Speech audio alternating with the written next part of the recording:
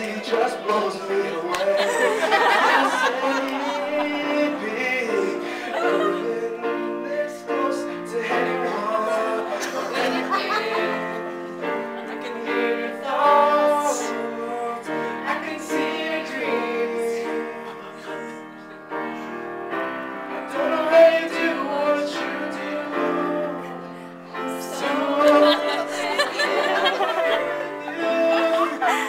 just keeps getting better.